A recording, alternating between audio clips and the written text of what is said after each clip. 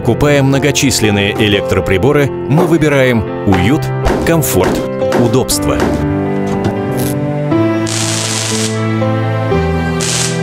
Но в то же время забываем про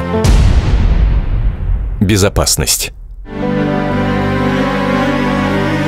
Не допускай того, чтобы свет превратился в огонь. Береги себя.